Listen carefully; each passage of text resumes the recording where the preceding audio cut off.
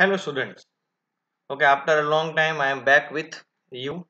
Okay, and today I just explain the exercise of your chapter number 5 working with animation working with animation का जो chapter है आपका उसकी exercise में solve करवा रहा हूँ आपको with explanation okay what you do you all note it down that answers in your notebook आपको नोटबुक में उसके आंसर्स लिख देने हैं प्रॉपरली ओके okay, थोड़ा से एनिमेशन वे पे मैं आज आपको एक्सप्लेन कर रहा हूँ okay so be with me हाँ okay after seeing this video don't forget to subscribe my channel Pratik sir online channel का नाम है। प्रतीक सर ऑनलाइन चैनल को सब्सक्राइब करके बेल आइकन पे क्लिक कर दिए क्योंकि 100 90 two 100 videos are there related to the computer and technology 90 videos है कंप्यूटर और टेक्नोलॉजी के रिलेटेड जिसको आप देख के काफ़ी नॉलेज ले सकते हो। और हर वीक में मेरे कम से कम तीन से चार वीडियो मैं अपलोड करता हूँ। अगर आप चाहते हैं कि वो आपको मिले तो आपको सब्सक्राइब करके बेल आइकॉन पे क्लिक करके रेडी रहना है। Okay so let's start with the multiple choice question first okay so multiple choice question of the chapter five working with animation the first question is play button in custom animation task pane is use to okay custom animation में अगर play button है, ठीक है तो उसका use किस लिए हो रहा है? मैंने इसका पूरा ट्यूटोरियल एक्सप्लेन किया है। ओके, अगर आपने मेरा ट्यूटोरियल नहीं देखा है तो प्रतीक सर ऑनलाइन चैनल पे है, ओके तो इसलिए मैंने आपको कहा ना कि सब्सक्राइब करके रेडी रहो। मेरी चैनल पे सभी ट्यूटोरियल्स है, कस्टम एनिमेशंस और एनिमेशन इन पावर पॉइंट का पूरा ट्यूटोरियल्स है, दो। उसमें आपको पता चल जाएगा, ये सब क्वेश्चन के आंसर भी मिलेंगे, ओके तो आप चेक कर सकते हो और पावर पॉइंट बहुत ही इंटरेस्टिंग है एनिमेशन वाला तो इसलिए आपको तो बहुत, आप बहुत एंजॉय करोगे। ओके तो जिसने नहीं चेक किया, वो चेक करो और बाकी सब एक्सरसाइज में फोकस करो। तो प्ले बटन कस्टम एनिमेशन जब हम ओपन करते हैं तो उसमें एक प्ले बटन होता है। तो प्ले बटन का काम क्या है? Preview effect view slide show preview old slide and none of this तो यहाँ पे आंसर आएगा प्रीव्यू इफेक्ट्स क्योंकि हम जो भी इफ़ेक्ट देते हैं कस्टम एनिमेशन की, ठीक है?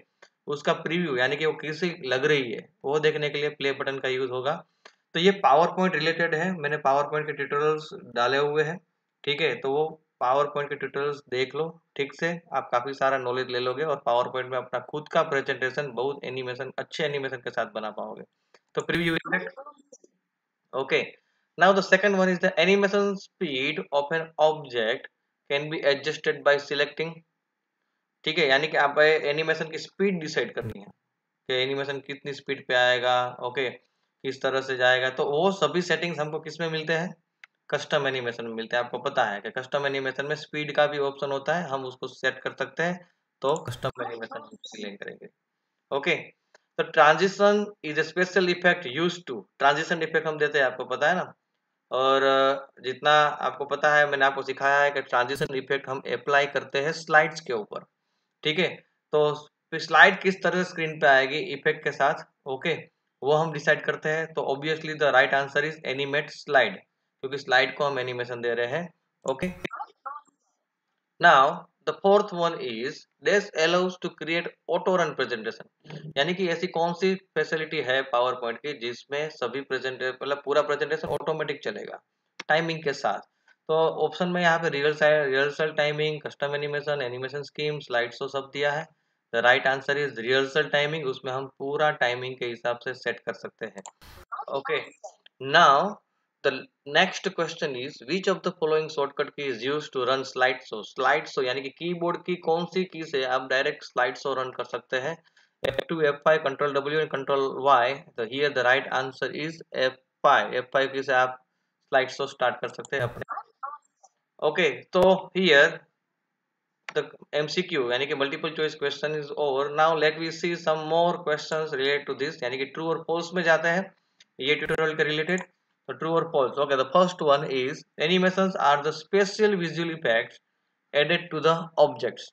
यानी कि एनिमेशन जो है वो एक स्पेशल इफ़ेक्ट है जो हम ऑब्जेक्ट के ऊपर ऐड करते हैं ऑब्वियसली राइट हम एनिमेशन सभी के ऊपर अप्लाई करने की कोशिश करते हैं to make our presentation attractive okay the next one is text can not be animated on a slide okay यानी कि ये तो ऐसा बोल रहा है कि मैं जो कुछ लिखूं पावर पॉइंट में उसको एनिमेशन नहीं दे सकता ये तो गलत बात हो गई, हो ही नहीं सकता। एनिमेशन तो हम किसी के भी ऊपर दे सकते हैं तो ये रॉन्ग है।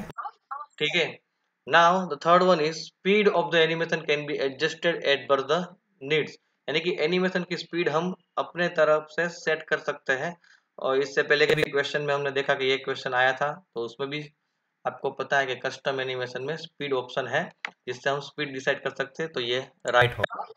Okay now the the fourth one is the animation once applied cannot be removed. मतलब एनिमेशन एक बार आपने दे दिया तो आप उसको रिमूव नहीं कर सकते। मैंने आपको सिखाया हुआ है कि रिमूव भी कर सकते हैं। अगेन आई रिपीट अगर आपने मेरे पावर पॉइंट के ट्यूटोरियल्स नहीं देखे हैं तो आप चेक कर लो, उसमें सब कुछ दिया है डिटेलिंग दिया है, जिससे आप अच्छे से अच्छा प्रेजेंटेशन बना सकते हो और काफ़ी नॉलेज ले सकते हो। ओके तो यहाँ पे आपको पता है कि एनिमेशन अप्लाई करने के बाद आप उसको रिमूव भी कर सकते हो।